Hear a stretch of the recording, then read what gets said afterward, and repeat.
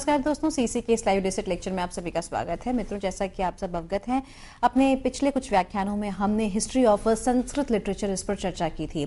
मित्रों, बताना चाहेंगे, इस श्रृंखला को आगे बढ़ाते हैं और आज के इस सेशन में हम बात करेंगे गद्य पर। और ये भी बताना चाहेंगे कि अगले दो या तीन व्याख्यानों में हम गद्य इस पर ही चर्चा करेंगे और ये भी साझा करना चाहेंगे आप सभी से कि अगर आप फ़र्स्ट ईयर के स्टूडेंट्स हैं और गद्य पढ़ने में रुचि रखते हैं तो C B C S third paper first year इसको हम शामिल करेंगे अपने इस लाइव रिसेट लेक्चर में, जहाँ पर गद्य पर विशेष रूप से व्याख्यान देने के लिए हमारे साथ मौजूद हैं और मौजूद रहेंगे doctor Pankaj Mishra. Doctor Pankaj Mishra associate professor हैं सेंट स्टीफेंस कॉलेज के संस्कृत विभाग में। तो आइए तहे दिल से इनका स्वागत करते हैं और गद्य पर विशेष रूप से चर्चा करते हैं। तो डॉक्टर मिश्र, आपका बहुत बहुत स्वागत है। Thank you Geetika ji. मित्रों, इस नए साल में एक नया विषय जो पहली बार आप लोगों के सामने लेकर आए हैं, और इस विषय का संबंध है यद्यपि संस्कृत साहित्य के इतिहास से। लेकिन सविशेष अगर इसको देखा जाए तो जो नूतन जो विश्वविद्यालय स्तर पे जो नूतन पाठ्यक्रम लाया गया है, स्वीकार किया गया है, उसी में फ़र्स्ट ईयर वाले के लिए ये गद्य का अंश है। लेकिन इसका संबंध केवल उतने मात्र से ना समझें, बल्कि जो ये व्याख्यान है, पूर्ण व्यापकता के साथ ये व्याख्यान है, जिसमें अन्य विषय के भी छात्र इससे लाभान्वित तो हो सकते हैं। यूपीएससी के छात्र लाभान्वित तो हो सकते हैं, अन्य अन्य जगहों पर जहाँ सीबीसीएस को नहीं स्वीकार किया गया, वहाँ के छात्र इससे लाभान्वित तो हो सकते हैं। और साथ ही, संस्कृत साहित्य में जो रुचि रखने वाले पाठक जन हैं, उनके लिए भी यह लाभदायक होगा। विषय है गद्य। यह भी एक अचानक क्रम भंग है, क्योंकि रामायण महाभारत के बाद आवश्यक तो यह था, पुराण, महाकाव्य आदि विषयों की चर्चा होती। लेकिन गद्य, काव्य, संस्कृत साहित्य में एक विशेष स्थान रखता है। हम इसे पहले भी जान चुके हैं अच्छी तरह से कि संस्कृत साहित्य में अगर साहित्य का हम विभाजन करते हैं तो दो रूपों में उसका विभाजन करते हैं, वैदिक और लौकिक। लौकिक का जब विभाजन करते हैं तो उसमें कई सारी जो प्रविधियाँ हैं, कई सारे खंड, उपखंड है, उन्हीं में से एक गद्य है। सामान्य रूप से अगर विश्लेषण करें, शैली और प्रवृत्ति के संरचनात्मक दृष्टि से विश्लेषण करें, स्वरूपात्मक दृष्टि से विश्लेषण करें तो साहित्य सामान्यतया संस्कृत में पद्य, गद्य और चंपू के रूप में जाना जाता रहा है। और जहाँ चंपू गद्य और पद्य से मिश्रित है, वहीं पे गद्य की अपनी एक अलग आइडेंटिटी है, अपनी एक अलग पहचान है। उसी पहचान के अंतर्गत हम इस विषय को आगे बढ़ाएँगे। लेकिन सर्वप्रथम बात यह निकल कर आती है कि गद्य शब्द का हम अर्थ क्या लें? या गद्य शब्द का उद्भव कहाँ से है? या गद्य लेखन परंपरा कब से प्रारंभ होती है? इन सारे विषयों की परिचर्चा इसमें हम करेंगे। और साथ ही ऐसे जो प्रमुख गद्यकार हैं और या ऐसे प्रमुख जो गद्य साहित्य हैं, उनको भी इसके अंतर्गत हम चर्चा में लाने की कोशिश करेंगे। सर्वप्रथम समझें कि गद्य शब्द का अर्थ क्या है। गद्य शब्द वस्तुतः गद धातु और उसमें यत प्रत्यय लगा करके बना है और जिसका अर्थ होता है, गद धातु का अर्थ होता है व्यक्तायाम वाची। और फिर उसके बाद आप देखेंगे यत प्रत्यय है। और अगर इस समस्त रूप में देखें तो गद्य का एक व्यावहारिक अर्थ निकल कर आता है साहित्यिक जगत में। वह यह कि मानव की अभिव्यक्ति की मौलिक प्रक्रिया। पुनः इस अर्थ पर विचार कर ले, मानव की अभिव्यक्ति की मौलिक प्रक्रिया। मित्रों, यदि पद्य की ओर आप जाएँ और पद्य को देखें तो पद्य क्या है? एक अनुशासन में बंधा होता है। उनमें वर्णों की संख्या सीमित होती है या वर्णों की संख्या नियत होती है। हम उसे गिन सकते हैं, हम इसे गिन करके जानते हैं। जैसे अगर आप को सबको स्मरण होगा गीता का प्रथम पद्य धर्म क्षेत्रे कुरुक्षेत्रे समवेता युयुत्सव मामका पांडवाश्चैव किम कुरुवत धनंजय। तो यहाँ पर अगर आप देखें तो क्या है? चार चरण है और प्रति चरण आठ आठ वर्ण हैं। और इन वर्णों में भी यतियों का या इन वर्णों में भी गणों का विवेचन होता है, गणों का विधान होता है। ऐसे कई सारे पद्य आप जानते होंगे, त्वमेव माता च पिता त्वमेव त्वमेव बंधुश्च सखा त्वमेव त्वमेव विद्या द्रविणम त्वमेव त्वमेव सर्वम मम देव देव अस्तु तो जैसे हम इनको बोलते हैं, इन पद्यों को बोलते हैं तो एक नियमित अवसान की हमें प्राप्ति होती है। एक समाप्ति का सूचक हमें प्राप्त होता है, समुचित विराम के बाद। इसीलिए हमने कहा कि पद्य जो होते हैं, अनुशासित तो होते हैं, उनमें गणों का विभाजन होता है। गण की विस्तृत चर्चा ना करके केवल संकेत मात्र में इसे समझ लें कि इसमें दीर्घ और ह्रस्व वर्ण जो ह्रस्व और दीर्घ वर्ण है, इन वर्णों के अनुसार इन छंदों में, इन पद्यों में उतार चढ़ाव आपको दिखता होगा। और यह उतार चढ़ाव प्रति छंद प्रति पद्य भिन्न भिन्न होते हैं। अर्थात एक अगर किसी छंद को आप लेकर के चलें तो दूसरा छंद, इन दोनों छंदों के जो उतार चढ़ाव है, ह्रस्व और दीर्घ का जो समायोजन है, गुरु और लघु का जो समायोजन है, उसमें अंतर आता है। तो वह पद्य है। लेकिन यहाँ पर गद्य जो है, गद्य एक उच्छल जलधि तरंगवत चलने वाली वाक्यों की ऐसी परंपरा है, जिसमें हम अपने मन से विराम देते हैं। इसीलिए यहाँ पर मौलिक प्रक्रिया शब्द हमने लिया है कि वस्तुतः इसमें क्या है कि यह अनुशासित प्रक्रिया नहीं है। इसे और अच्छी तरह से कहें तो यह एक स्वाभाविक प्रक्रिया है कि जहाँ हम अपनी अभिव्यक्ति को विराम दे दें। उस अभिव्यक्ति के विराम में ना तो वर्णों की संख्या गिनी जाएगी, ना ही उसमें जो लघु और गुरु है या ह्रस्व और दीर्घ है, उसके क्रम, उसकी क्रमबद्धता को देखी जाएगी। तो इस रूप में यह गद्य है। लेकिन इस गद्य का और हम क्या लक्षण लें? इस लक्षण से पहले हम एक बात ज़रूर जान लें, आवश्यक रूप से जान लें कि चार वेद हैं, ऋग्वेद, यजुर्वेद सामवेद और अथर्ववेद। इसमें जो यजुर्वेद है, अगर इस यजुर्वेद के लक्षण को जानने की कोशिश करें तो इसमें जो यजुष शब्द है, यजु शब्द है, उस यजुह शब्द का लक्षण है अनियताक्षरावसानम यजु। और इसी से एक और नया अर्थ, इसका नया लक्षण बनाया गया गद्यात्मकम यजु। अब दोनों शब्द पे हम ध्यान दें कि अनियत जहाँ पर निश्चित ना हो, अक्षर, वर्ण, अवसान। यानी जहाँ पर वर्णों की संख्या या वर्णों की जो समाप्ति है, उसमें किसी भी प्रकार का अनुशासन ना हो, वर्णों की संख्या की दृष्टि से किसी भी प्रकार का नियम ना हो। तो अनियताक्षरावसानम यजु। वस्तुतः यह जो यजुर्वेद है, यह यजुर्वेद गद्यात्मक है। लेकिन पूरा का पूरा यजुर्वेद गद्यात्मक नहीं है यह भी हमें मानना चाहिए, बल्कि सर्वप्रथम गद्य का जो स्वतंत्र प्रयोग हम पाते हैं, वह यजुर्वेद में ही पाते हैं। तो इसीलिए लक्षण बना गद्यात्मकम यजु। अर्थात जो, वह वेद जो कि गद्यमय हो, वह वेद जिसमें कि गद्य भी पाए जाते हो, उसे हम यजुर्वेद कहते हैं। और इसी गद्य का लक्षण बना अनियताक्षरावसानम गद्यम। तो इस प्रकार से ये गद्य की हम परंपरा देखते हैं। गद्य का प्रारंभिक रूप जो है, गद्य का सर्वप्रथम प्रयोग अगर कहें, अगर क्विज, ये जो प्रश्न उत्तर के माध्यम से अगर इसको जानने की कोशिश करें और यदि कोई पूछ ले कि संस्कृत साहित्य में गद्य का प्रथम प्रयोग कहाँ प्राप्त होता है तो इसका एक ही उत्तर होगा, यजुर्वेद। तो ये तो हम उस गद्य साहित्य के बीज का अन्वेषण कर रहे हैं और उसी अन्वेषण के क्रम में हम इनको जानते हैं। साथ ही ब्राह्मण ग्रंथ भी हैं, ये ब्राह्मण ग्रंथ भी गद्यात्मक हैं। तो इस प्रकार यजुर्वेद से गद्य लेखन की परंपरा प्रारंभ हुई और अद्यतन वो परंपरा जो है वो चल रही है। आज भी जो लघु कथाएँ छोटी छोटी कथाएँ लिखी जाती हैं, वो आपको गद्यात्मक शैली में होती हैं। अब इस प्रकार अगर हम यह देखें कि ये जो गद्य है, इस गद्य के और जो, का जो ओरिजिन है, हम उस ओरिजिन को देखने की कोशिश करेंगे कि इसका उद्भव कब से लें और किस रूप में लें। जैसा कि अभी हमने कहा कि हमारा जो संस्कृत साहित्य है, वो दो भागों में है। एक भाग तो है आपको जिसे कहते हैं वैदिक, जिसमें कि हमने यजुर्वेद की अभी चर्चा की, और दूसरा भाग हमने कहा लौकिक।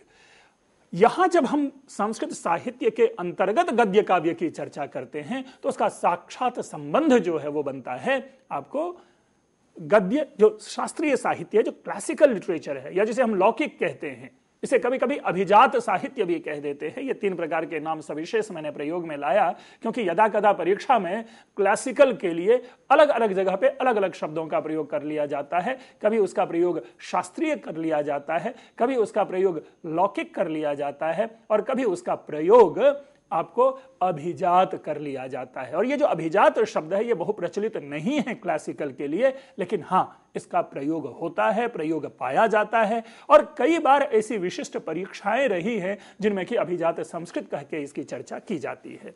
अस्तु तो गद्य काव्य के संदर्भ में देखते हैं। हम आप पाएँगे कि ये जो गद्य है, जब हमने गद्य की चर्चा की तो इस गद्य के रूप में गद्य के भी दो या तीन रूप हैं। इसको भी हमें जान लेना चाहिए।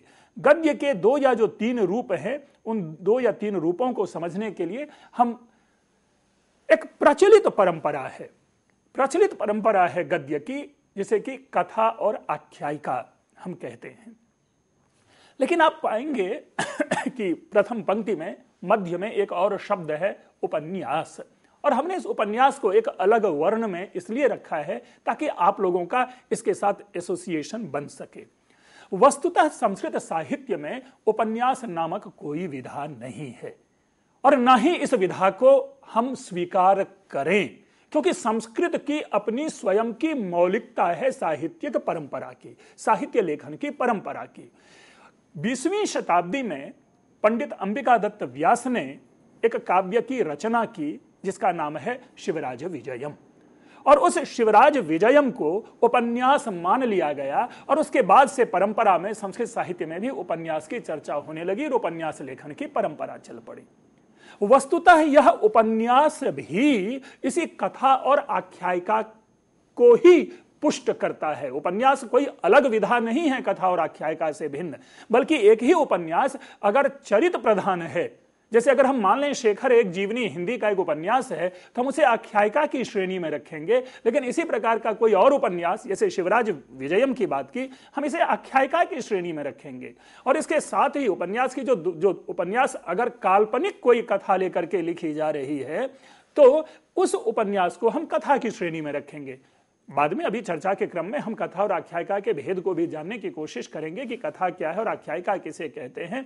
लेकिन मूल रूप से मैं यहाँ पर आप लोगों को सविशेष ये साग्रह निवेदन करना चाहूँगा कि उपन्यास को संस्कृत साहित्य की परंपरा जो है, उस परंपरा के अधीन काव्य रचना में नहीं स्वीकार किया जाना चाहिए।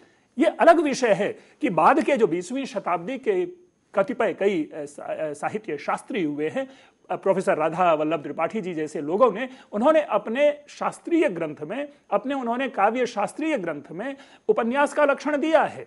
उपन्यास की चर्चा हो रही है, उपन्यास लिखे जा रहे हैं। लेकिन मुझे लग रहा है कि कहीं ना कहीं संस्कृत की जो परंपरा है, उस परंपरा से हम बाहर हट करके एक नया कॉर्नर शुरू कर रहे हैं इस विषय को आगे बढ़ाने का। अस्तु तो मूल रूप से अगर हम पाए तो गद्य काव्य दो रूप में पाए जाते हैं, जिसे कि कथा और आख्यायिका कहते हैं।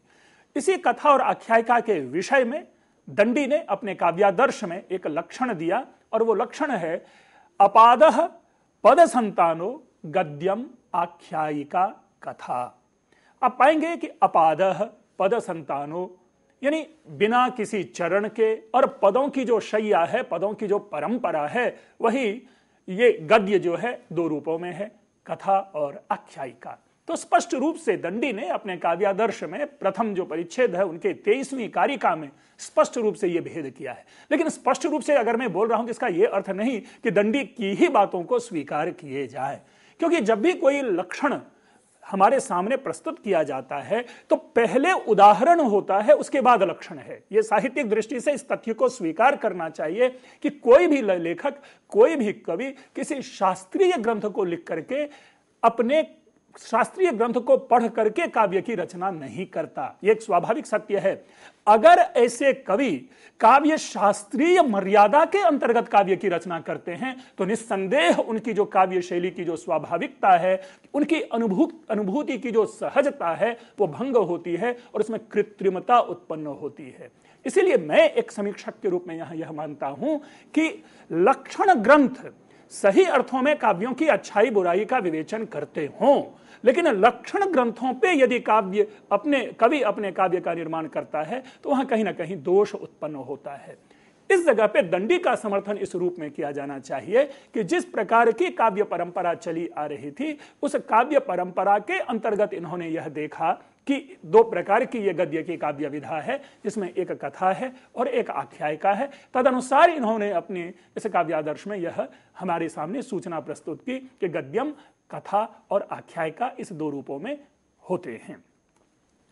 फिर आते हैं ये जो कथा है। आप पाएँगे कि कथा के नीचे हमने चार या पाँच कुछ अन्य समूह की चर्चा की है, अन्य बिंदुओं की चर्चा की है। आप पाएँगे काल्पनिक है पशु है, नीति है, लोक है, आंचलिक है। इसी प्रकार आख्यायिका के अंतर्गत आप देखेंगे कि हमने दो बिंदु रखे हैं, समकालिक और ऐतिहासिक। मित्र, पुनः मैं ये कहना चाहूँगा कि ये मेरी अपनी समीक्षा है और इस तरह से साहित्यिक परंपरा में आप प्रायशः नहीं पाएँगे, लेकिन सबसे पहले हम समझ लेते हैं कि कथा क्या है और आख्यायिका क्या है। सामान्य दृष्टि से अगर देखा जाए तो कथा काल्पनिक होती है।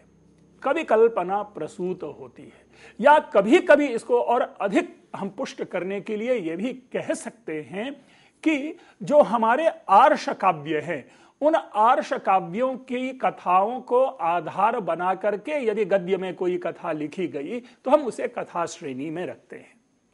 लेकिन जो आख्यायिका है आख्यायिका वस्तुतः, जिसको हम बायोग्राफी और ऑटोबायोग्राफी कहते हैं, उस अर्थ में आख्यायिका को लिया जाता है, जहाँ पर कि समकालिक या ऐतिहासिक, किसी दो चरित्र, यहाँ पर भी ऐतिहासिक को स्पष्ट रूप से यह मान लिया जाना चाहिए कि उपजीवियों में वर्णित जो राजे राजा महाराजे हैं, हम उन्हें ऐतिहासिक नहीं मानेंगे। ऐतिहासिक से यहाँ पे तात्पर्य है कि आज यहाँ बैठ करके यदि हम महात्मा गांधी को आधार बना करके किसी काव्य की रचना करें तो वो ऐतिहासिक होगा। क्योंकि ऐसे लिविंग लीजेंड जो कि विद्यमान हो, जिन्होंने प्रेरणा दी हो, जिन्होंने समाज और परिवार के लिए सुधार के कार्य किए हुए हों और जो हमारे लिए आदर्श बने हों। इस रूप में चाणक्य को आधार बना करके लिखा जाने वाला काव्य भी आप ऐतिहासिक कहेंगे। इसी प्रकार कभी कभी समकालिक होते हैं। अर्थात आज के इस युग के जो कुछ बहुत बड़े अच्छे हो गए हैं चाहे वो विद्वान हुए हों चाहे वो वैज्ञानिक हुए हों चाहे वो आ, समाज सुधारक रहे हों चाहे वे राजनीतिज्ञ रहे हों तो ऐसे विविध क्षेत्र में जो काम करने वाले कोई श्रेष्ठ व्यक्तित्व हैं जिन्होंने जो हमारे लिए आदर्श बनने की क्षमता रखते हो, ऐसे विद्वानों को भी आधार बना करके, ऐसे लोग को आधार बना करके जो लिखा जाने वाला काव्य है, हम उसे समकालिक कहते हैं। लेकिन यही काव्य यदि गद्य शैली में लिखे जाए तो हम उसे आख्यायिका कहेंगे, और तदनुसार आख्यायिका के जो मानदंड हैं, वो होने चाहिए समकालिक और ऐतिहासिक। जैसे हर्ष चरितम अगर आपने नाम सुना हो तो हर्ष चरितम जो है, वह आख्यायिका है। इसी तरह बाद में और कई व्यक्ति को आधार बना करके, कई ऐसे राजा महाराजा को आधार बना करके ग्रंथों की रचना हुई तो हम उसे ऐतिहासिक आख्यायिका कहेंगे। उसी प्रकार शिवराज्योदयम भी, शिवराज विजयम भी जो है, यह भी ऐतिहासिक आख्यायिका की श्रेणी में इसे माना जाना चाहिए। अब यहाँ पर भी आप पाएँगे, यद्यपि संस्कृत साहित्य के इतिहास में जब कथा का जो भेद है, उस भेद को अलग अलग तरीके से रखा जाता है और उसे भिन्न भी रखा जाता है। लेकिन हमने इस गद्य की शैली में लिखे जाने वाले जितने भी जितने भी संभावित काल्पनिक कथाएँ होती है, हमने उन सबको कथा के अंतर्गत यहाँ पर रखने की कोशिश की है। उसी में से एक है काल्पनिक काल्पनिक कथा। ऐसी कथा जिसका कोई आधार नहीं है, कवि अपनी, अपने मन में सोचता है कि ऐसा होगा ऐसा होगा ऐसा होगा। जैसे कादंबरी है, जैसे दश कुमार चरितम है, आदि इस तरह के जो ग्रंथ हैं, हम इसे काल्पनिक कथा श्रेणी में रखते हैं। कालांतर में एक और परंपरा चली, जिस परंपरा के अंतर्गत हम पाते हैं कि पशुओं के माध्यम से आपने कई सारी कहानी पढ़ी है, पंचतंत्र की, हितोपदेश की कहानी, शुक सप्तति, है ना? इसी तरह से जो सिंहासन बतीसी अगर आपने नाम सुना हो तो सिंहासन द्वात्रिंशिका नाम से संस्कृत में यह कथा काव्य है। तो ऐसे कई काव्य हैं जो काव्य जिसमें पशुओं के माध्यम से हमें शिक्षा देने की कोशिश की गई है। हम अवान्तर रूप से चाहें तो इसी को नीति कथा भी कह सकते हैं, क्योंकि इनके माध्यम से हमें नैतिकता का पाठ पढ़ाया जाता है। अयम निज परोवेति गणना लघु चेतसाम उदार चरिता नाम तो वसुधैव कुटुंबकम तो ऐसे जो कुछ सुंदर सुंदर नीति की बातें हैं कथानक के माध्यम से हमें जो संदेश दिया जाता है। तो पशु कथा और नीति कथा को हम कह सकते हैं कि ये अन्योन्य संबंध है लेकिन कभी कभी ऐसा भी होता है जहाँ पे कि पशु को आधार न बना करके सामान्य जनजीवन की कोई कथा ले ली जाती है और उसके माध्यम से क्या होता है कि हम आ, कोई संदेश देते हैं कोई नीति की बात करते हैं कोई नैतिकता की बात करते हैं। तो हम उसे नीति कथा मान लेते हैं। इसी प्रकार लोक कथा। लोक कथा मित्रों, क्या है? आप लोग बखूबी जानते होंगे कि हर क्षेत्र में अपनी अपनी कोई ना कोई कहानी चल रही होती है, प्रचलित होती है, जिसे कि हम नाना नानी दादा दादी आदि के मुँह से सुनते हैं, और जिसका कि कोई आधार नहीं होता। या किसी क्षेत्र विशेष में चल रही परंपरा को आधार बना करके, उसी परंपरा को आगे बढ़ा करके कल्पना में एक कहानी रच ली जाती है, मढ़ ली जाती है। तो उनको ऐसी जो कहानियाँ होती हैं, ऐसे जो काव्य होते हैं, हम उनको लोक कथा की श्रेणी में रखते हैं। और इसी प्रकार आंचलिक, मित्रों, एक बार मैं फिर से कहूँ कि ये आंचलिक शब्द जो है, मैं हिंदी से एक उदाहरण आपके सामने रखता हूँ। आप लोगों ने फणीश्वर नाथ रेणु का नाम अवश्य ही सुना होगा और उनका उपन्यास है मैला आंचल। तो ऐसे जो किसी क्षेत्र विशेष की व्यवस्था, क्षेत्र विशेष की गंभीरता को लेकर के जो ग्रंथ लिखे जाते हैं, जो कथा लिखी जाती है, जो गद्य काव्य लिखे जाते हैं, हमने उसे आंचलिक एक अलग नाम दे दिया है। तो इस प्रकार से अच्छा यही नहीं है कि केवल कथा में इन्हीं पाँच विषयों का समावेश होता है, ये कथाएँ और भी विविध प्रकार की होती है, लेकिन मैं एक व्यापकता की दृष्टि से उन कथाओं का जो जो संस्कृत साहित्य में उपलब्ध गद्य काव्य हैं, उन गद्य काव्यों में जो कथा की श्रेणी में आने वाले गद्य काव्य हैं, उन गद्य काव्यों का हमने वर्गीकरण किया कि उन कथाओं का कहीं ना कहीं, किसी न किसी प्रकार से संबंध जो है, इन पाँचों से अवश्य ही है। हो सकता है छठी श्रेणी भी बनाई जा सकती है, सातवीं भी श्रेणी हो सकती है, अन्य विषय जो हमसे छूट गए वो भी हो सकती हैं। वैज्ञानिक कथा। लेकिन जब कथा है, जो प्राप्त विषय है, उनके आधार पर आपके सामने रखा, इसी प्रकार मैंने आख्यायिका की बात आपके सामने की, कि यह जो आख्यायिका है, ये किसी न किसी ऐसे चरित्र को आधार बना करके लिखी जाती रही है, लिखे जाने की परंपरा है, जो कि किसी न किसी रूप में लीजेंड रहे हों, समाज में विद्यमान हों। हर्ष चरितम का उदाहरण हमने लिया और आप लोग सभी जानते हैं कि जिस समय बाणभट्ट ने हर्ष चरितम को आधार बना करके ग्रंथ लिखा था, उस दृष्टि से अगर हम कहें तो ये समकालीन आख्यायिका है, क्योंकि उनके समय राजा हर्षवर्धन थे। तो राजा हर्षवर्धन के दरबार में रहते हुए बाणभट्ट ने राजा हर्ष के विषय में एक काव्य की रचना की, जिस काव्य का स्वरूप गद्यात्मक है तो इसलिए इस हर्ष चरितम को समकालीन कह सकते हैं आख्यायिका हो। लेकिन इसके ठीक विपरीत, शिवराज विजयम की जब हम चर्चा करेंगे तो 20वीं शताब्दी में पंडित अंबिका दत्त व्यास ने शिवराज विजयम की रचना की, जबकि उनसे लगभग 200 वर्ष पूर्व शिवाजी हो चुके थे, शिवाजी महाराज हो चुके थे। तो इसलिए इनके लिए हम कहेंगे कि चूँकि उन्होंने शिवाजी को नहीं देखा, चूँकि इन्होंने वो शिवाजी के समय में नहीं थे, इसलिए इस शिवराज विजयम को हमें ऐतिहासिक आख्यायिका की संज्ञा देनी चाहिए। तो ये एक आख्यायिका की चर्चा और कथा की चर्चा की। हम एक बार फिर से पुनः उस विषय की ओर जाते हैं, जहाँ पर हमने अन्वेषण शुरू किया था गद्य की प्राचीनता का। तो गद्य की प्राचीनता के अन्वेषण के क्रम में यद्यपि हमने यजुर्वेद ब्राह्मण ग्रंथ आदि की चर्चा की थी, उपनिषद कतिपय ऐसे हैं जिनमें कि गद्य में लिखे गए हैं। लेकिन इनसे दूर जब मैं एक लौकिक संस्कृत की बात करता हूँ तो लौकिक संस्कृत में जो लिखे जाने वाले ग्रंथ हैं, उनमें महाभारत में आप गद्य पाएँगे, पुराणों में गद्य पाएँगे। अभिलेख, मैं इसकी चर्चा बाद में अभी करने वाला हूँ। अभिलेख, अगर आप देखें कि संस्कृत लौकिक परंपरा में अगर प्रथम प्राप्त गद्य लिखित रूप से हमारे सामने यदि कोई उपलब्ध है तो वह रुद्रदामा का अभिलेख है। इसी तरह समुद्रगुप्त का जो प्रयाग प्रशस्ति है हरिशेन के द्वारा लिखा गया अभिलेख, हम उनको गद्य के रूप में देखते हैं। विकासात्मक पद्धति में देखें तो भाष्य ग्रंथ जितने भी हैं, चाहे वो पतंजलि के द्वारा लिखे गए भाष्य हों, चाहे वो वात्स्यायन भाष्य हों, चाहे प्रशस्त पाद भाष्य हों, चाहे शंकराचार्य के द्वारा विविध जो ग्रंथ हैं, ब्रह्मसूत्र, उपनिषद और गीता, इस पर जो लिखे गए भाष्य हैं, वो भी उत्कृष्ट गद्य के उदाहरण माने जाते हैं। लेकिन ध्यान रखेंगे कि ये सारे के सारे गद्य के स्वरूप हैं, ये गद्य साहित्य नहीं है, जिसमें कि नायक, नायिका आदि का विवेचन हो, वो विषय इनमें नहीं है। इसीलिए हमने पांचवा बिंदु जो आपके सामने रखा है, उसमें शीर्षक है, उसका जो सब टाइटल बनाया हमने, वह है साहित्यिक गद्य। इसी साहित्यिक गद्य में हमें उल्लेख मिलता है वासवदत्ता का, सुमनोत्तरा का, भैमरथी का। ध्यान रखेंगे, यहाँ भा के ऊपर में मात्रा छूट गई है, ये भैमरथी है भमरथी नहीं है। पतंजलि के महाभाष्य में इसका उल्लेख मिलता है, इन तीनों ग्रंथों का उल्लेख मिलता है। इसी तरह एक है मनोवती, जिसकी चर्चा अवंती सुंदरी कथा में प्राप्त होती है। इसी तरह है एक तरंगवती, जिसकी चर्चा तिलक मंजरी में प्राप्त होती है, और एक आश्चर्य मंजरी ग्रंथ का भी नाम प्राप्त होता है।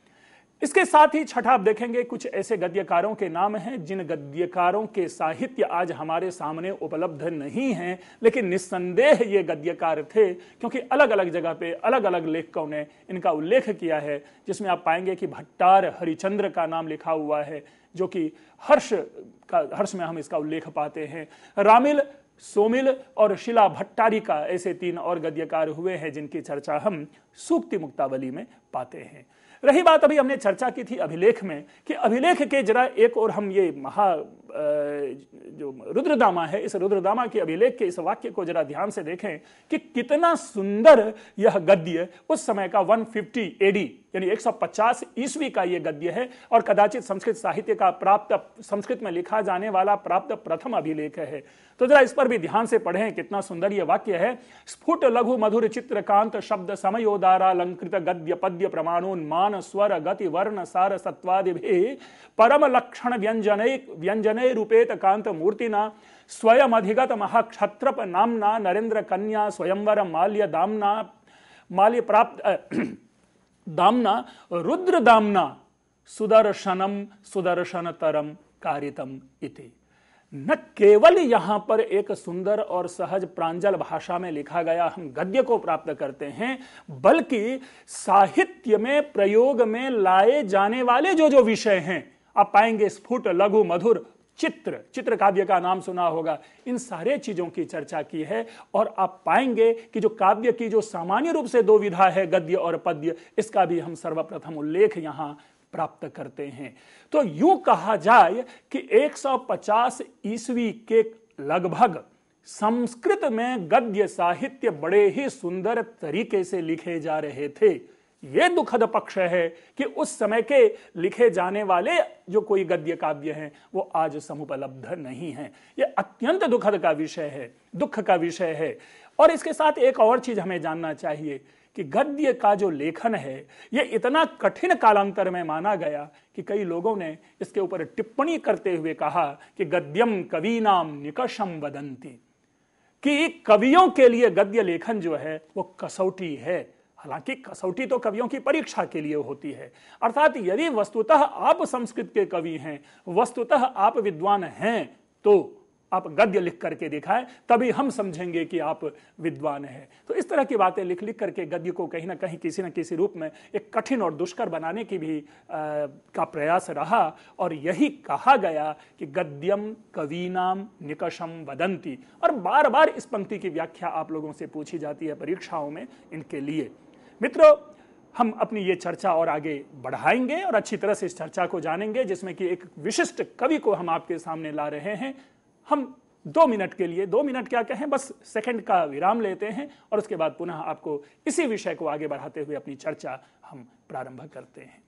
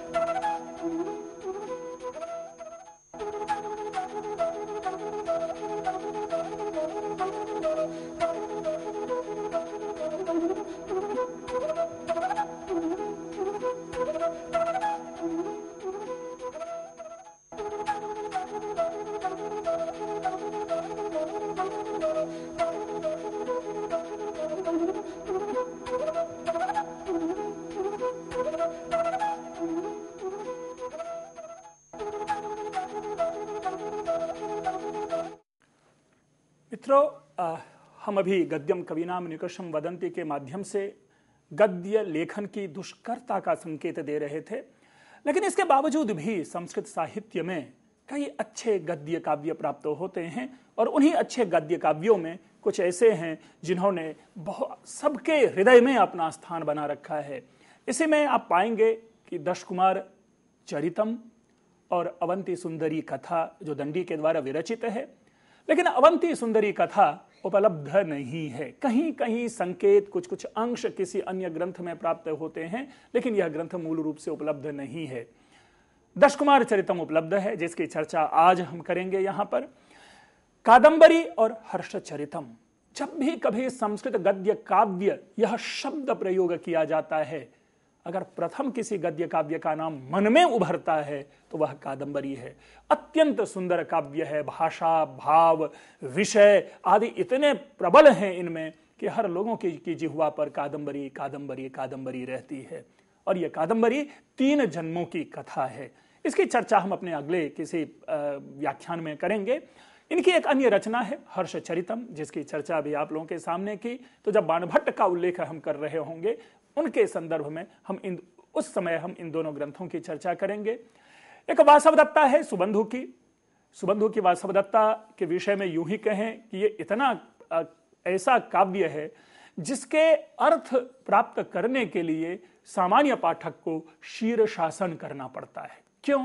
क्योंकि स्वयं सुबंधु ने अपने वासवदत्ता के विषय में लिख रखा है कि प्रत्यक्षर श्लेषमय अर्थात इस सुबंधु की वासवदत्ता का एक एक शब्द जो है, वह श्लेष से युक्त है। प्रारंभ ही होता है तो इतना सुंदर ऐसे ऐसे शब्द निकलते हैं। अब जैसे सौकर्य समासादित धरणी मंडलम, अब एक शब्द है।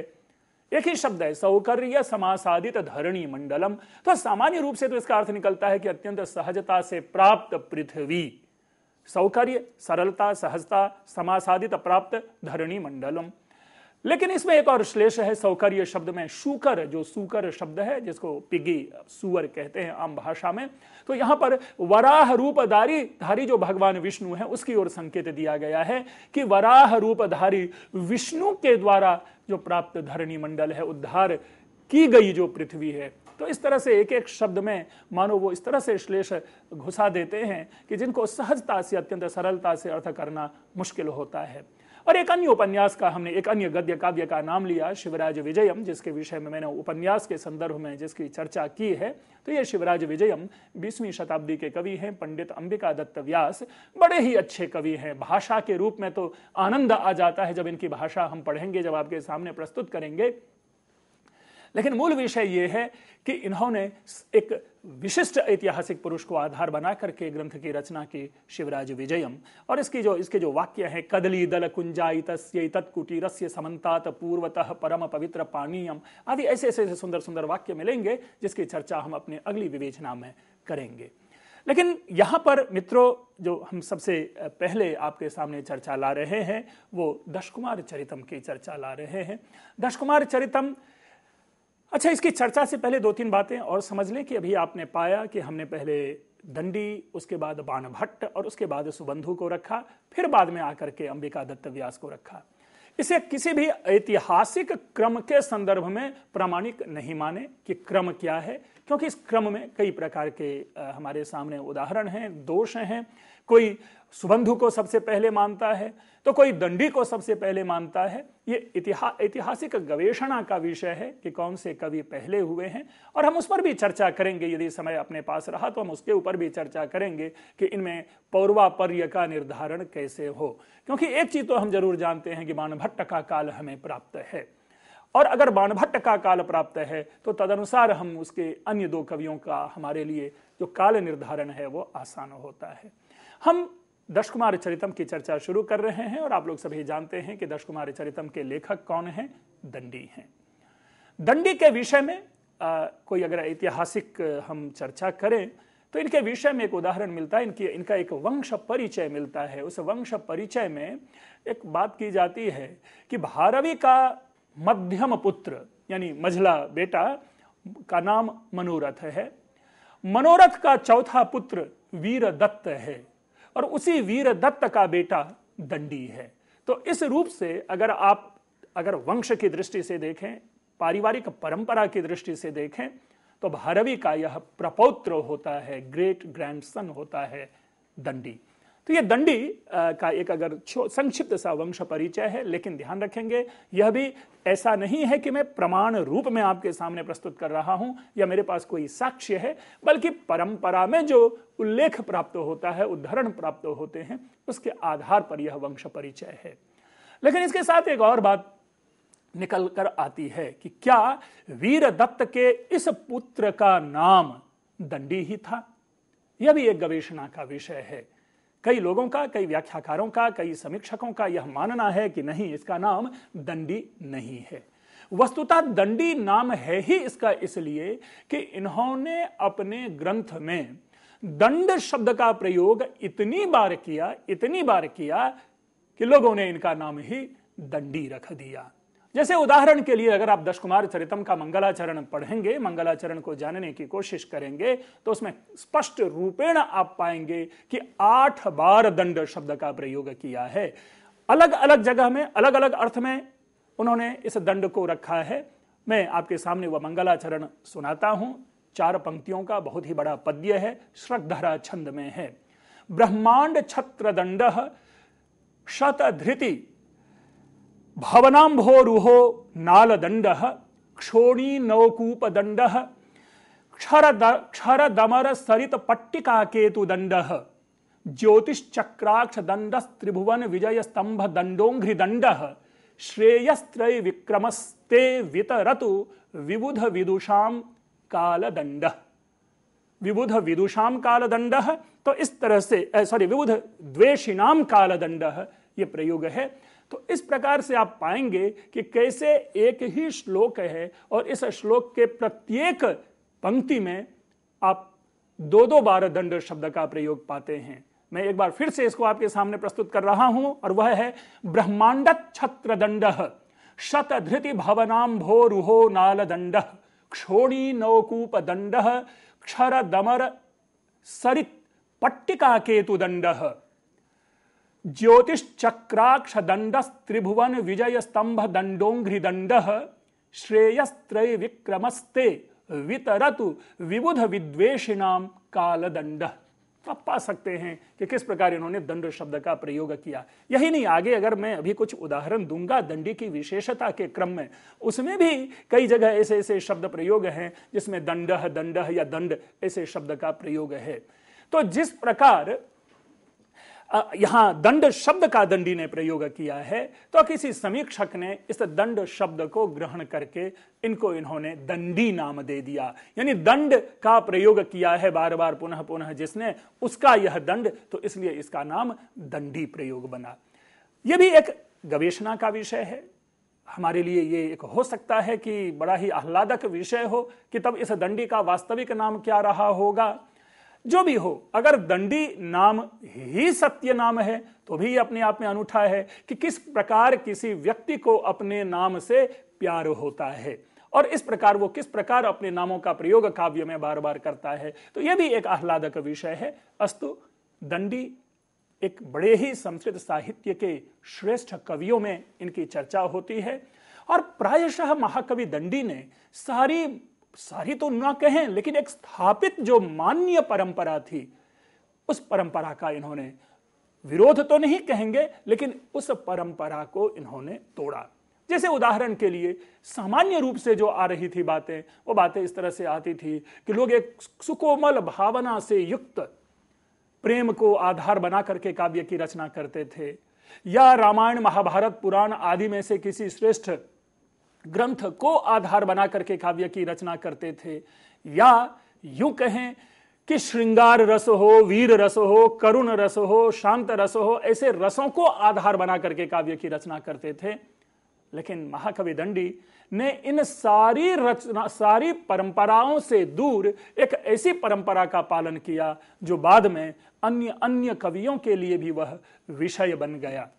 और वो रही कि सर्वप्रथम इन्होंने अपने काव्य का जो मूल है, वो श्रृंगार की जो प्रधानता है, उससे दूर इन्होंने अपने काव्य को अद्भुत रस प्रधान बनाया। अगर एक वाक्य में कहा जाए कि दश कुमार चरितम का अंगी रस क्या होना चाहिए तो इसका एक ही उत्तर मिलता है, और वह है अद्भुत रस। यू तो अद्भुत रस को किसी ने अपने काव्य में बहुत अधिक स्थान नहीं दिया लेकिन है, काव्य में स्थान है, जहाँ पर भी युद्ध की चर्चा होती है, युद्ध की बातें आती है, किसी की विशेषता बताई जाती है, अतिशयोक्ति के माध्यम से किसी को प्रस्तुत किया जाता है तो वहाँ किसी न किसी रूप में हम अद्भुत रस पाते हैं। लेकिन अद्भुत रस को एनकैश करना, अद्भुत रस का दोहन करना अपने काव्य में यदि किसी ने पहली बार किया तो वे महाकवि दंडी हैं। इसी प्रकार, इनके जो कथानक है, इनकी जो कथा है, ये मानो स्वयं कवि कल्पित है। यद्यपि परंपरा तो राजकुमारों की कथा है। कि इसमें भी राजकुमारों की कथा है। लेकिन इन्होंने कभी ऐसे दुष्यंत या राम या किसी अन्य ऐसे कृष्ण या शिव ऐसे महापुरुषों को मतलब क्षमा करेंगे, महापुरुष तो एक मैं साहित्यिक संदर्भ में प्रयोग कर रहा हूँ, ऐसे किसी उत्कृष्ट और दिव्य चरित्र को आधार बना करके इन्होंने काव्य की रचना नहीं की। और सहज और सामान्य जैसे कह सकते हैं कि गाँव घर में अपने बचपना में, अपने शैशव में जो खेलने वाले कुमार होते हैं आठ दस कुमार मिलकर के जो एक साथ खेलते हैं वही बढ़कर के बड़े होते हैं और तदनंतर क्या है, ये अपनी कहानियाँ अलग अलग दिशा से आकर के सुनाते हैं और वही कहानी इनकी चल पड़ती है। और यही कारण है कि कभी कभी मैं भारतीय साहित्य में अगर समाजवाद को ढूँढने चलता हूँ तो उसका हमें जो दो उदाहरण मैं कहीं पे देता हूँ, वह उसमें से एक है दंडी का दशकुमार चरित और दूसरा है शूद्रक का लिखा गया वृक्ष कटिकम। मृच कटिकम की चर्चा नाटकीय संदर्भ में करेंगे, लेकिन जब मैं समाजवाद की चर्चा यहाँ पर कर रहा हूँ तो दश कुमार चरितम के संदर्भ में उस समाजवाद को ज़रूर समझा जाना चाहिए, क्योंकि यह समाजवाद एक ऐसा समाजवाद है कि जब हम किसी भी क्षेत्रीय बस में सफ़र करते हैं, यात्रा करते हैं तो उस बस में जिस प्रकार हर वर्ग के लोग यात्रा कर रहे होते हैं, उसमें जेब कतरे भी पाए जाते हैं, उसमें झूठ बोलने भी पाए जाते हैं, उसमें अच्छे विद्वान भी सफ़र करते पाए जाते हैं। इसी प्रकार दश कुमार चरितम एक ऐसा यान है जिसमें समाज के हर वर्ग के चरित्र को आप पा सकते हैं। उसमें भी कोई ठग है, कोई धूर्त है, कोई बदमाश है। लेकिन ध्यान रखेंगे, जब ये ठग, धूर्त और बदमाश कहते हैं तो ये प्रतिनायकत्व चरित्र वाला नहीं है, खलनायकत्व चरित्र वाला नहीं है। ये हम आप लोगों में से ही कोई अच्छा व्यक्ति होता है, जिसका ये स्वभाव होता है कि लोगों को हम मूर्ख बना दें। इस तरह की चर्चा हम वहाँ पाते हैं। दूसरी ओर जो ये मैंने कहा कि ये कवि कल्पित है, विशुद्ध रूप से कवि कल्पित है, और इसीलिए मैं साग्रह कहता हूँ कि ये कथा है, जबकि कई सारे समीक्षकों ने दश कुमार चरितम को आख्यायिका की श्रेणी में रखने की कोशिश की है। मेरा विरोध वहाँ पर है। तो इस कथा में बड़े ही मनोरंजक कथा है, उसको भी हम अभी मैं दो चार शब्दों में आपके सामने रखूँगा। ये दशकुमार चरितम आठ उच्छ्वास में लिखी जाने वाली कथा है। एक यहाँ पे प्रश्न उत्पन्न होता है कि ये जो आठ उच्छ्वास है, इस चीज़ को ध्यान में रख करके या बाद में जो प्राप्त होने वाले अलग अलग संस्करण है, उसके आधार पर कईयों ने यह कहने की कोशिश की है कि पूरा का पूरा दश कुमार चरितम जो है, वो दंडी की मौलिक रचना नहीं है। इस जो साहित्य का नायक है, वो है राजवाहन, जो राजहंस नामक एक राजा का बेटा है, राजवाहन। तो यही इसका नायक है। लेकिन ध्यान रखना है कि यह राजवाहन कोई ऐतिहासिक चरित्र नहीं मानो कवि कल्पना प्रसूत एक कोई राजकुमार है। इस राजवाहन नामक जो नायक है, राजकुमार है, इसके नौ अन्य मित्र हैं। और ये मित्र अलग बचपन में एक साथ खेलते हैं, बड़े हो जाते हैं तो अलग अलग दिशा में ये मित्र चले जाते हैं और अपने अपने दिग्विजय की चर्चा वो जब बाद में एक साथ मिलते हैं तो हर मित्र अपनी अपनी कहानी राजवाहन को सुनाता है। तो इस प्रकार ये दश कुमारों की कहानी है। कदाचित इसीलिए इसका नाम दश कुमार चरितम पड़ा। ये जो इनके नौ मित्र हैं उन नौ कुमारों के नाम है आपके सामने। पुष्पोद पु, सोमदत्त पुष्पोद्भव अपहार वर्मा उपहार वर्मा अर्थपाल प्रमति मित्रगुप्त मंत्रगुप्त और विश्रुत। यहाँ जो विश्रुत है विश्व चरितम आप इसके आधार पर विश्वविद्यालयों में ये आठवां उच्छ्वास है जो बहुत ही प्रसिद्ध है। ये विश्रुत चरितम नाम से जाना जाता है। और ये पूरा मेरे ख्याल से जहाँ भी कहीं दशकुमार चरितम का कोई अंश है तो उसमें ये विश्रुत चरितम को ही मूल रूप से आधार बनाकर दिया गया है। और खास करके दिल्ली विश्वविद्यालय में ये वर्षों से इस विश्व चरितम की पढ़ाई होती चली आ रही है। इसी प्रकार मैंने अद्भुत रस की चर्चा की। दंडी के विषय में कई कथन प्राप्त होते हैं। उन्हीं में से एक कथन है, दंडिन पदलालित्यम। ये बहुत ही प्रसिद्ध है। एक और कथन मिलता है, कबीर दंडी कबीर दंडी कबीर दंडी, न संशय। कि कवि तो दंडी ही है, कवि तो दंडी ही है, कवि तो दंडी ही है, इसमें किसी भी प्रकार का संदेह नहीं। वस्तुतः किसी भी कवि के विषय में इस प्रकार की अगर समीक्षात्मक टिप्पणी की जाती है तो निस्संदेह वह उस कवि के समग्र मर्म को, उसके समग्र वैशिष्ट्य को हमारे सामने समुपस्थापित ये कर देता है इस प्रकार का कथन। इसी में से एक कथन है दंडिन पदलालित्यम। मित्रों, पदलालित्य शब्द जब भी प्रयोग में लाया जाता है तो इसका कदाचित कभी भी इसका यह अर्थ नहीं ग्रहण करना चाहिए कि पदलालित्य का मतलब है भाव प्रधान वस्तुतः पदलालित्य सदैव जो है, वो कला प्रधान है शब्द प्रधान है वाक्य प्रधान है भाषा प्रधान है। जहाँ पर कि भाषा एक सुंदर रूप ग्रहण कर ले, जो भाषा हमें कान में एक मिश्री, यानी एक मिठास घोल दे उस भाषा के संदर्भ में समीक्षक लोग पदलालित्य शब्द का प्रयोग करते हैं। और यह पदलालित्य केवल दंडी के संदर्भ में नहीं है, बल्कि बाद में निषधीय चरितम के जो कवि हैं, श्री हर्ष के विषय में भी बाद में ये कहा गया, और एक सूक्ति चल पड़ी दंडी के आधार पर ही नई शधे पदलालित्यम। अस्तु तो जिस पदलालित्यम की चर्चा कर रहे हैं, आपने कई इस तरह के श्लोक सुने होंगे, पद्य सुने होंगे, पंक्तियाँ सुनी होंगी, जिसमें कि एक आनंद है, एक सानुप्रासता है। बार बार वर्णों का रिपीटेशन आप पाएँगे किसी न किसी रूप से। जैसे आपने नवकंज लोचन कंज मुख कर कंज पद कंजारुणम तो यहाँ पर भी एक लालित्य दिखता है। या गीत गोविंद का एक श्लोक है, ललित लवंग, लता परिशीलन, कोमल मलय समीरे, मधुकर निकर करम्बित कोकिल कूजित कुंज कुटीरे। इसमें भी एक लालित्य दिखता है। एक और लालित्य आप सुने कि जय जय जाप्य, जय जय शब्द परस्तुति तत्पर विष्णुनुते झण झण झिमि झिमि झिंकृत नूपुर सिंजित मोहित भूत पते। नटित नटार्ध नटी नट नायक, नाट्य नाटित नाट्य रते। जय जय हे महिषासुर मर्दिनी, रम्य कपर्दिनी शैल सुते और जो बहुत ही प्रसिद्ध आप लोगों ने शिव तांडव स्त्रोत्रम सुना होगा, उसके लालित्य से ही सारे के सारे भक्त जो हैं वो आह्लादित तो होते हैं। और उसमें आप देखें कि प्रफुल्ल नील पंकज प्रपंच कालिम प्रभावलंबि कंठ कंदली रुचि प्रबद्ध कंधरम स्मरच्छिदम पूरच्छिदम भवच्छिदम मखच्छिदम गजच्छिदांध कच्छिदम तमंत कच्छिदम भजे। अखर्व सर्व मंगला कला कदम्ब मंजरी रस प्रवाह माधुरी विजृंभणा मधुव्रतम स्मरांतकम पुरांतकम भवांतकम मखांतकम गजांतकांतकांतकम तमंतकांतकम भजे। वस्तुतः हमें अर्थावबोध हो या ना हो, लेकिन जिस प्रकार से इन वाक्यों में, इन पद्यों में एक आकर्षण है, वो आकर्षण का कारण ही है उन उन पद्यों का लालित्य। लेकिन मित्रों, अभी जो ये उदाहरण थे, वो आपके सामने पद्य के थे। दंडी गद्य के लेखक हैं। क्या गद्य में भी लालित्य का समावेश हो सकता है? यदि इसका उत्तर है हाँ तो उसका उदाहरण भी है दंडी। अभी हम दंडी के कुछ पंक्ति आपके सामने प्रस्तुत करेंगे और उन पंक्तियों में उस लालित्य को आप ढूँढने की कोशिश करेंगे कि किस प्रकार उन्होंने अत्यंत सुंदरता से उस लालित्य को वहाँ पर संजोया है।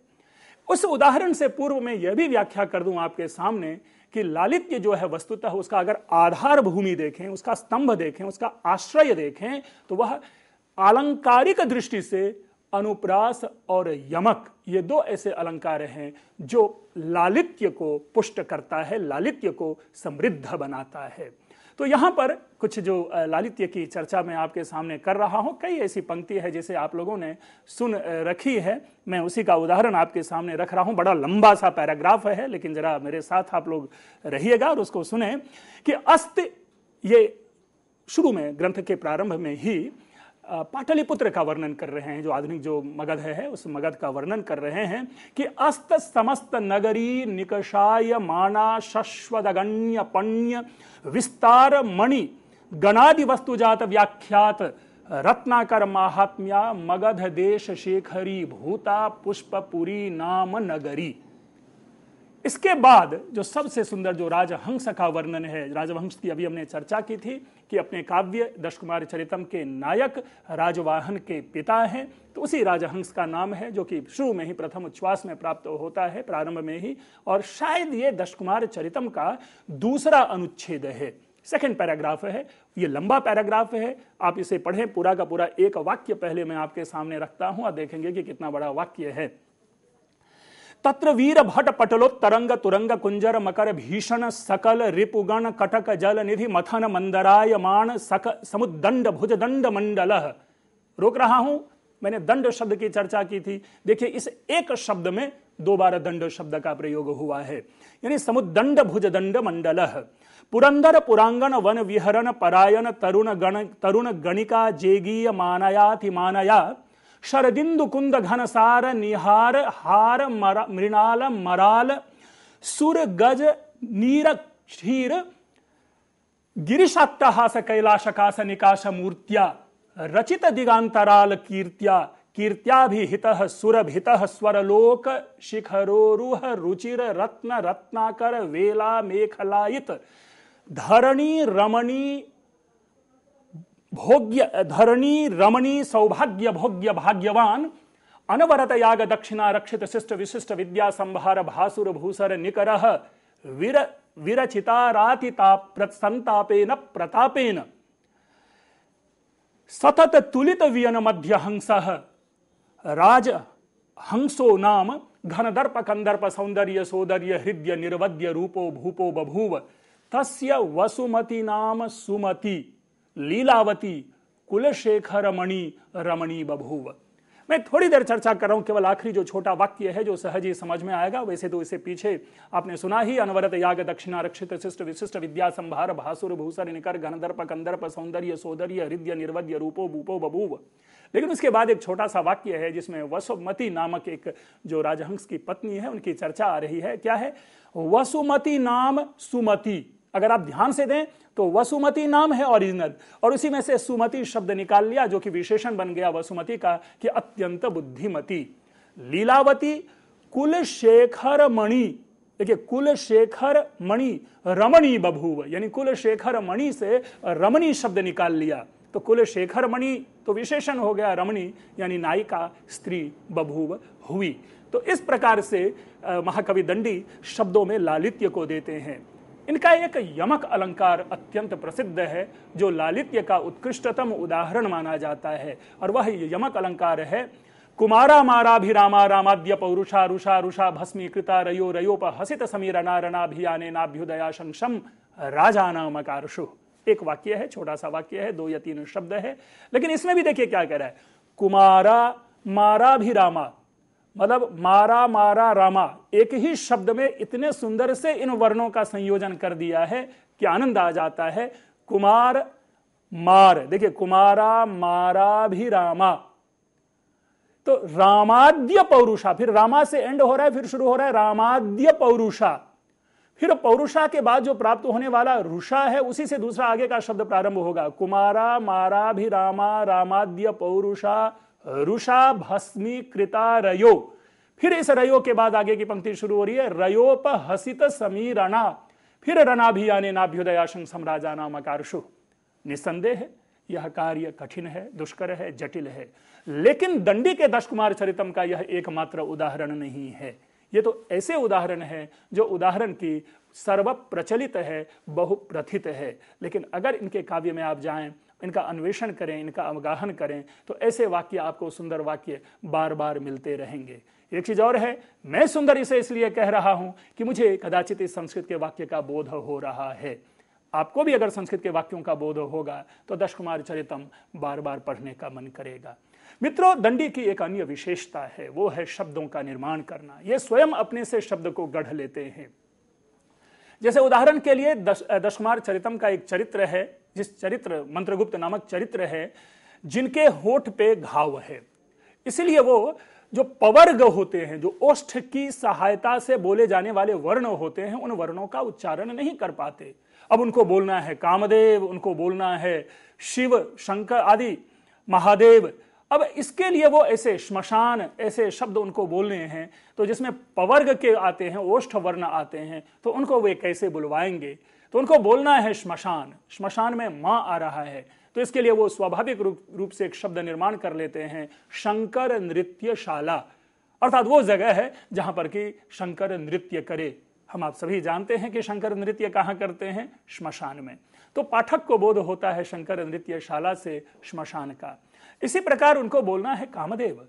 अब कामदेव के लिए बड़ा मुश्किल है, क्योंकि कामदेव की सामान्यतया जितने भी पर्यायवाची हैं, उनमें कहीं ना कहीं ओष्ठ वर्ण है, चाहे मदन आप शब्द कर लें आप कोई और भी पुष्प धनवा कर लें, कुसुम शर कह लें, सब में ओष्ठ वर्ण आता है।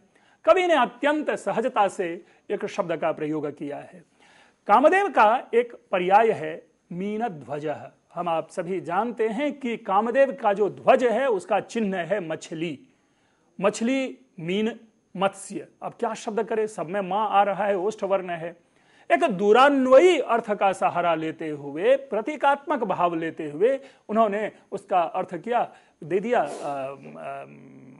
नक्र ध्वज ठीक है, यानी नक्र का मतलब घड़ियाल घड़ियाल जलीय जीव है, जलीय जीव मछली भी है तो इन दोनों से साम्य स्थापित करके उन्होंने इस शब्द का प्रयोग कर लिया। वैसे भी कवि निरंकुश होते हैं, लेकिन निरंकुश का यह भी नहीं कि समग्र मर्यादा को तोड़ दे। महाकवि ने भी अपने इस काव्य में ऐसी मर्यादाओं की कहीं उपेक्षा नहीं की है। लेकिन महाकवि का जो वर्णन है, महाकवि की जो वर्णन शैली है, उस शैली में एक स्वाभाविक रूप से जो बात पाई जाती है, वो है सहजता, सजीवता और यथार्थता। वस्तुतः जब भी कवि वर्णन करते हैं तो ऐसा लगता है कि वे उस जगह पे उपस्थित हों। और उपस्थित होने के साथ साथ जिस विषय का वर्णन करता है, कि सामने वाले के मन में भी उस विषय का चित्र उत्पन्न हो जाए। इस प्रकार की शब्दावली का प्रयोग करते हैं और इस प्रकार का वे वर्णन करते हैं। और यही कारण है कि महाकवि जो दंडी है, इन दंडी का जो काव्य है, वो बहुत ही प्रथित काव्य माना जाता है। और बाद में इनकी शैली का ही अनुकरण अन्य परवर्ती कई लोगों ने किया है। मैं तो स्पष्ट रूपेण कहता हूँ कि अगर श्री हर्ष को कहीं से प्रेरणा मिली होगी अपने काव्य में पदलालित्य को रखने की तो वो एकमात्र कारण दंडी थे। दंडी ने एक और नए विषय को स्पर्श किया, जिसकी चर्चा हम आप जनरली नहीं करते और नहीं ही की जाती है। वह है, मैं उसे नाम दे रहा हूँ, अपने ढंग से उसको प्रस्तुत करता हूँ, तिलिस्म। चमत्कार। चूँकि अद्भुत रस है तो चमत्कार होगा। और वो चमत्कार, तिलिस्म वाला चमत्कार है, जिसका रूप स्वरूप हम देवकी नंदन खत्री की चंद्रकांता संतति में पाते हैं। वस्तुतः पाताल लोक में चली जाना, एक घिरनी पे, गाड़ी पे बैठ के पाताल लोक में चले जाना, एक विशाल भवन में पहुँच जाना जहाँ पर कोई नहीं है, लेकिन टेबल पे भोजन सजा हुआ है। तो आदि इस प्रकार की जो कल्पनाएँ हैं, ऐसी कल्पनाओं से युक्त महाकवि दंडी के काव्य हैं, जो अत्यंत रोचकता उत्पन्न करता है। मतलब उसमें इसके विषय में जो भी कहा जाए, मैं कभी कभी दिल्ली के संदर्भ में एक उदाहरण देता हूँ कि दिल्ली में दो बसें चलती है। एक बस का नाम, नंबर है आठ सौ तिरासी और एक का दो सौ बारह। तो 212 नंबर बस का जब भी कभी प्रति छवि मेरे मन में उत्पन्न होता है तो मैं कहता हूँ कि यही दश कुमार चरितम है। अगर दश कुमार चरितम का व्यावहारिक रूप अगर आपको देखें तो भीड़ भरी ऐसी किसी भी बस में देखी, देखा जा सकता है। मित्रों, ये तो एक दंडी का एक सामान्य रूप आपके सामने हुआ। दंडी के इस दश कुमार चरितम के विषय में कीथ का एक वक्तव्य है, जो इन्होंने इस काव्य के विषय में कहा है, धूर्तों की कथा। लेकिन ध्यान रखेंगे, यहाँ मैं बार बार कह रहा हूँ कि धूर्त का मतलब निगेटिव यहाँ नहीं है, बल्कि एक तरह से यह प्रशंसा ही है दश कुमार चरितम की। आप दश कुमार चरितम को पढ़ें, जाने, विश्व चरितम को जाने। हम इसी प्रकार से आगे आपके लिए जो अन्य जो कवि हमारे हैं, अन्य गद्यकार हैं, इनकी चर्चा करेंगे और उनके भी कुछ रोचक तथ्य आपके सामने प्रस्तुत करेंगे, जिससे कि गद्य काव्य को आप अत्यंत सरलता और सहजता से समझ पाएँगे।